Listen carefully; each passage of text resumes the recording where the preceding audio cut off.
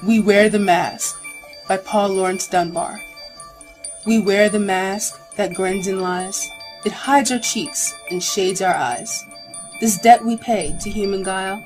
With torn and bleeding hearts we smile. And mouth of myriad subtleties.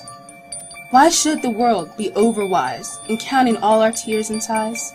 Nay, let them only see us while we wear the mask. We smile, but O great Christ our cries to thee from tortured souls arise. We sing, but oh the clay is vile beneath our feet and long the mile. But let the world dream otherwise. We wear the mask.